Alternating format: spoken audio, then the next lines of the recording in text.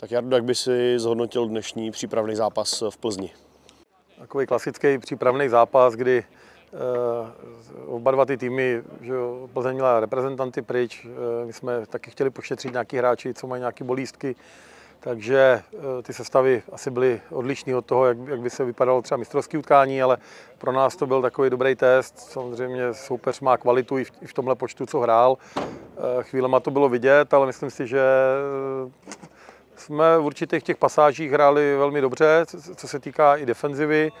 A byli jsme docela nebezpeční dopředu. Škoda jen, že jsme neví, tam ještě třeba to utkání šlo i vyhrát, ale, ale k čemu mám jako výhrady je to k tomu konci, protože opakovaně nás to trápí, takový konce poločasu obou, dohrávání utkání a nejvíc mě asi štve, jak jsme dohrávali třeba posledních 10 minut, kdy kdy to opravdu jako tam jsme málem inkasovali gól na 2-1. Bylo by to zbytečný, byť to je přípravný utkání, tak si myslím, že by, že by jsme to měli dohrát právě tak, aby jsme se to naučili eh, si to přenést do těch mistrovských utkání, že ty, že ty dobrý stavy dohrávat tak, řeknu bezpečně.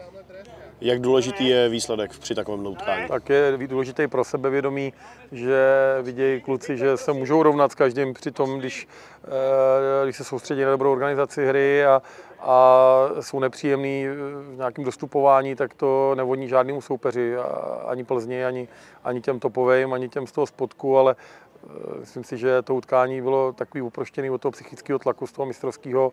Takže říkám, ano, je to takový nějaký první bod, že se od něj můžeme třeba odrazit dál, ale mistrovské utkání si uvědomuji, že budou úplně o něčem jiném, než je tohle.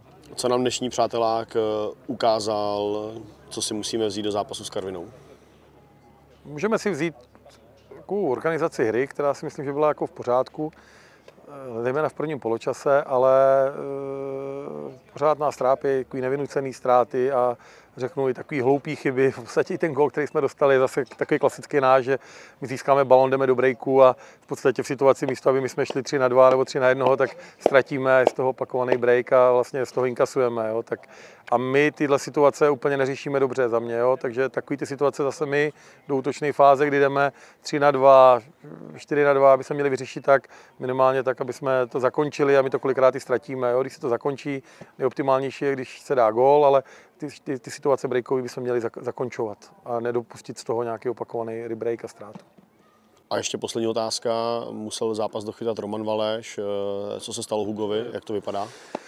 To vypadá, že dostal koňára, takže uvidíme zase. Prostě, jako, asi jsme překročili nějaký bludný kořen, protože e, se takovýhle zranění hloupý, vlastně takový zavíněný, tam nějaká srážka tak uvidíme, jak, jakým stavu bude, ale jako v první chvíli to vypadalo na koleno, tak ten koňár je asi lepší zpráva, ale uvidíme, uvidíme, uvidíme v pondělí.